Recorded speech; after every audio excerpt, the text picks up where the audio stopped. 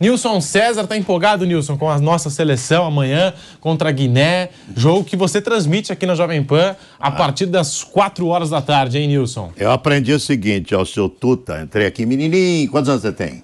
Tô com 22. Entrei com 20, eu tô com 61, tô 41. O seu Tuta me falou assim, ó, moleque, presta atenção, moleque.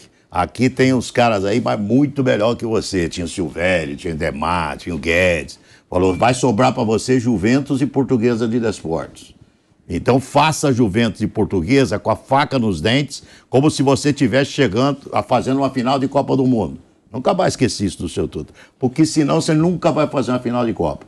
Então empolgado eu tô sempre. Interessa. Claro. Sempre em cima, né? Interessa. Se e é com Brasil, aquele palpite se é também. É Brasil e Guiné, se é final de Champions, se é final de Copa do Mundo. Empolgado, eu, tô, eu estou sempre. Tem que estar empolgado. Quem não está empolgado é o torcedor brasileiro. Quando, coloquei ontem no Instagram, falei assim: essa geração mimimi é uma das responsáveis é, pela, pela falta de interesse do torcedor brasileiro com a seleção. Aí um cara escreveu embaixo assim: Ô Nilson, pô, essa eu concordo com você, porque é o seguinte: se tiver o Chaves e a seleção, eu vou assistir o Chaves. Sabe? Mas isso não, não, quer dizer nada. O que quer dizer é o seguinte: vamos ver se aparece alguém aí, se monta-se, é, se aparece um treinador. Eu estou torcendo pelo Ancelotti. Eu acho que deveria esperar o Ancelotti. Eu, eu não vejo nenhuma hipótese dele não cumprir o contrato com o Real.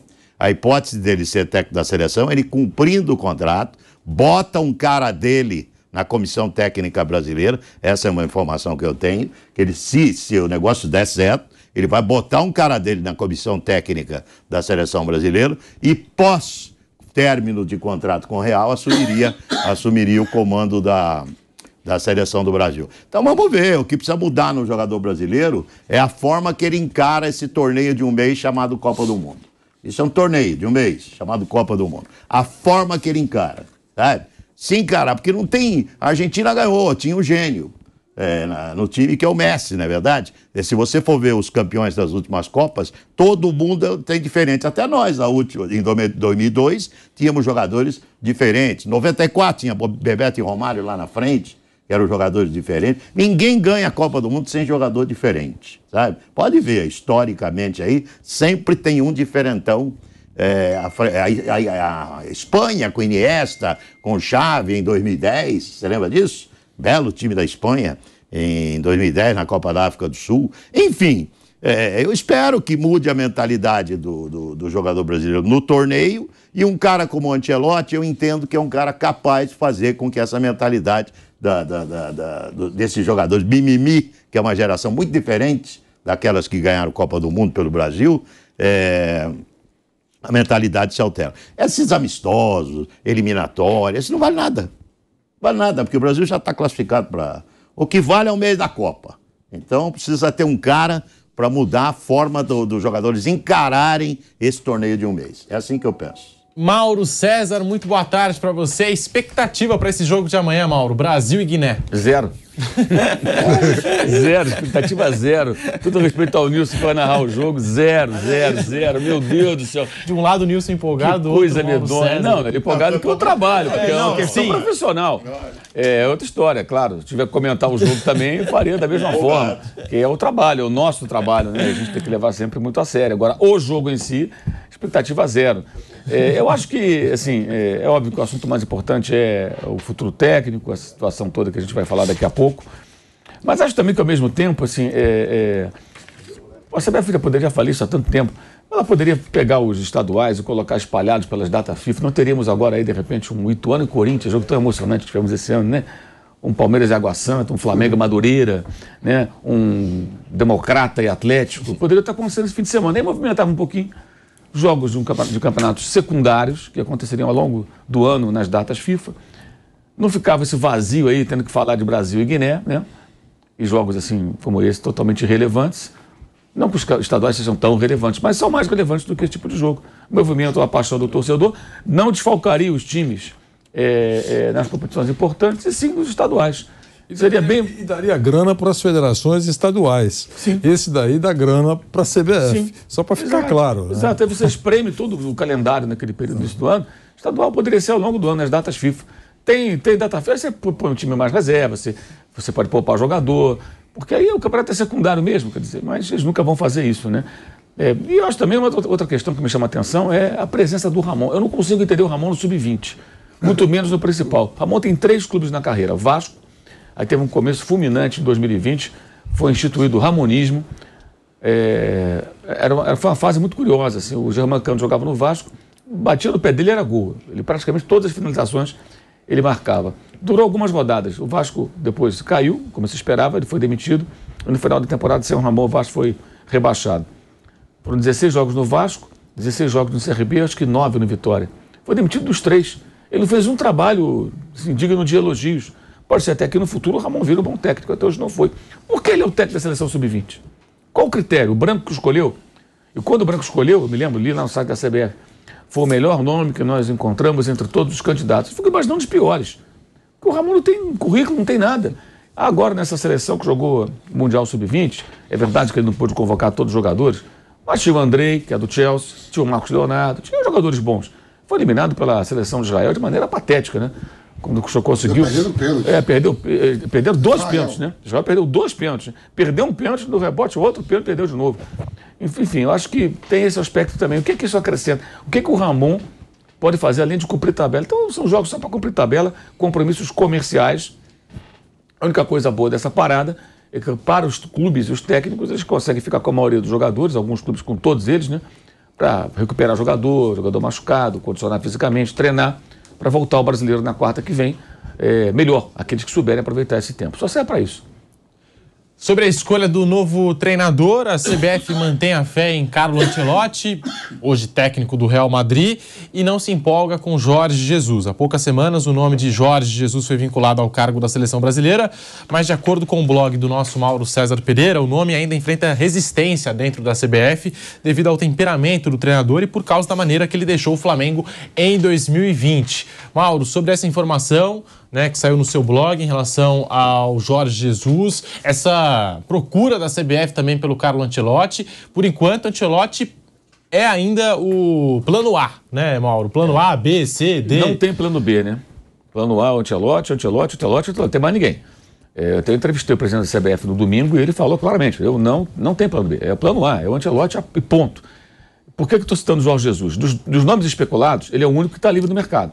Os demais estão contratados por clubes aqui do Brasil. E ele também disse que não vai tirar nenhum técnico do clube brasileiro. Não vou prejudicar em setembro, agosto, o clube brasileiro arrancar um técnico e deixar o clube com a temporada pela frente, jogando competições importantes sem, sem treinador. Foi o que ele falou. Ou seja, se ele fosse contratar, vamos imaginar aqui. Ah, eu quero o Diniz. Ele ia, tentar, ia falar com o Fluminense, falar com o Diniz, para ele começar no ano que vem. E ficaríamos aí no Ramon, algum interino até o final do ano. É, mas nesse momento ele não pensa nisso. O Jesus está livre. Ou seja, em tese, seria uma possibilidade. E o Jesus é, teve proposta da Arábia Saudita, né, foi noticiado, não fechou. Também consegui falar com ele na quinta-feira, é, antes do, do, do, da final da Champions League, antes da final da Copa da Turquia, que ele ganhou no domingo, né, com o Fenerbahçe, foi a despedida dele do clube turco. Ele falou: não, não assinei nada. Ou seja, ele está livre. Tem gente fazendo força pelo nome dele, para que seja o plano B na eventualidade do Antelote não, não, não, não aceitar ou não puder aceitar. O e, entre essas pessoas que estão tentando empurrar o nome de Jesus, tem gente que não cruza muito bem os bigodes com o comando da CBF, então alguns cabos eleitorais não são dos mais favoráveis, eu diria, para o português. E tem a questão do temperamento, que é uma coisa que também atrapalha Abel Ferreira.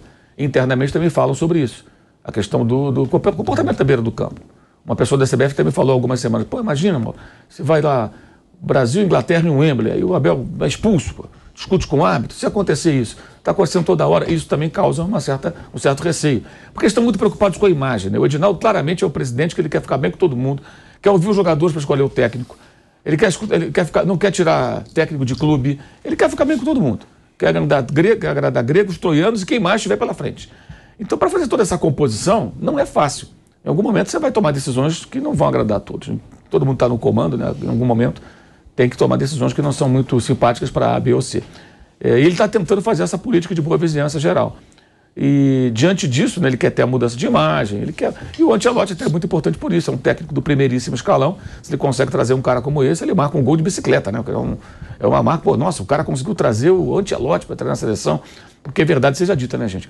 As seleções, não só do Brasil, as seleções, elas não são a, a, a prioridade dos grandes treinadores. Eles não treinam seleção. Os maiores técnicos treinam clubes. Né? Aqui no Brasil nós temos essa ideia de que não, quando a seleção chama, o técnico vai como se fosse uma convocação oficial. O Mourinho não pensa em pegar a seleção de Portugal, você não vê o Guardiola querer pegar Catalunha, Espanha, seja lá qual for a seleção, também não quer. É, e por aí vai. O Klopp não é cotado para treinar a seleção da Alemanha, são os maiores.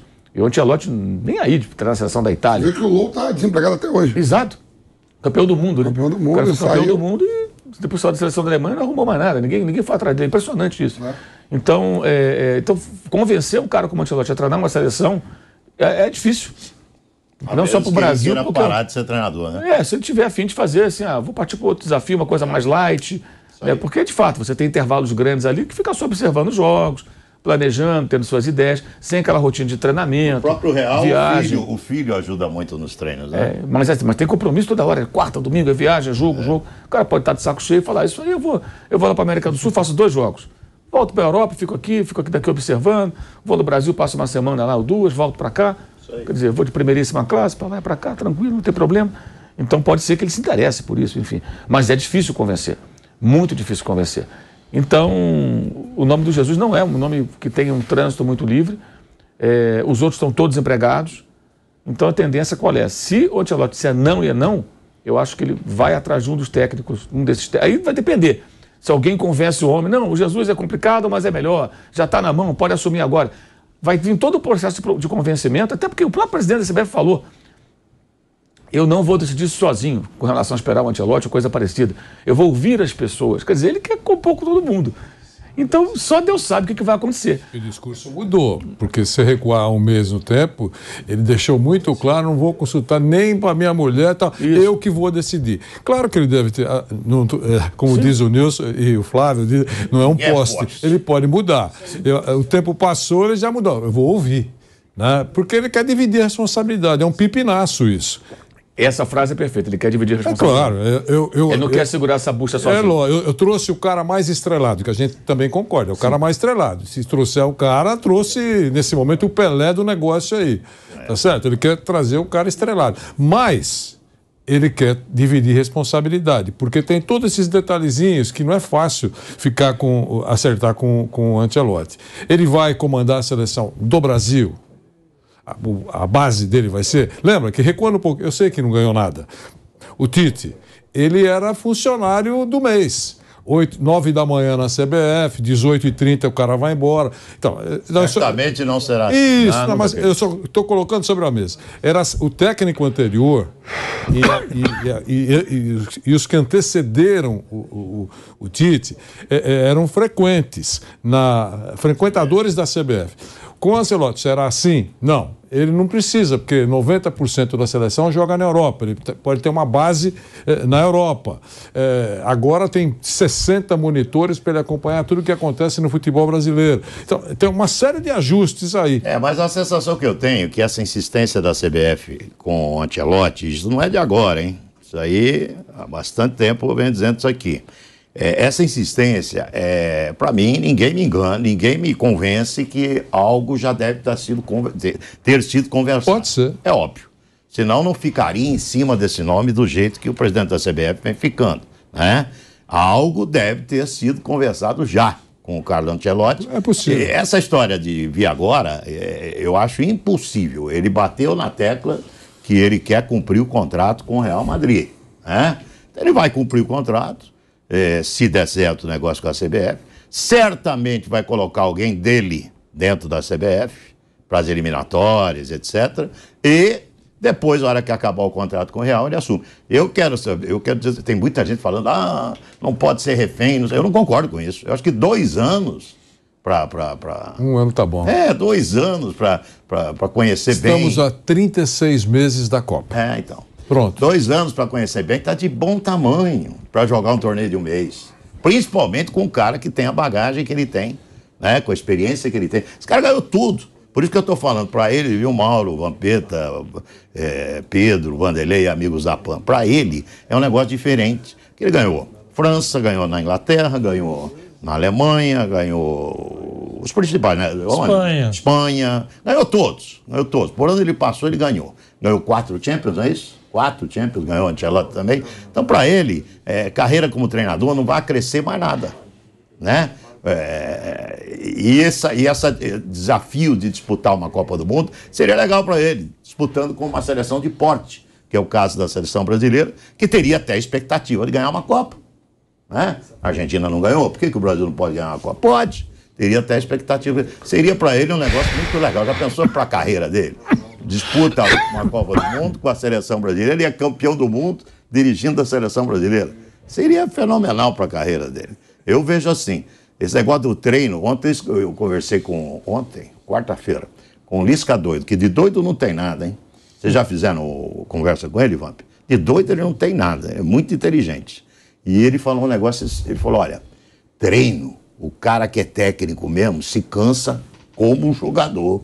Ele falou, ele falou a intensidade para um, um, treinador, ele sai, ele sai arrebentado. Pô, o Ancelotti está com 64 anos, eu acho que já ganhou tudo para ele seria muito legal, na minha, na minha visão, assumir essa. Ele ia curtir, sabe? Seria uma curtição dirigir uma seleção brasileira para o Ancelotti. Vamos ver, vamos ver o que, que vai acontecer. O Jesus, quando deixou a Turquia, disse: Agora vou em busca do meu sonho. Na terça-feira, ao chegar em Portugal, questionado por jornalistas, né, ele conversou com a imprensa e falou: né, o sonho é tentar jogar numa Copa do Mundo de seleções, mais nada. Nas outras competições já estive. Nunca estive no Mundial disse o Jorge Jesus, também fez questão de pontuar que ainda não conversou com a seleção brasileira e que não era para especular nada, né? Até, ele até pontua. Nunca falaram comigo. Tive várias propostas, sondagens, estou estudando, disse o técnico português, né, o Jorge Jesus, com passagem aqui pelo Flamengo.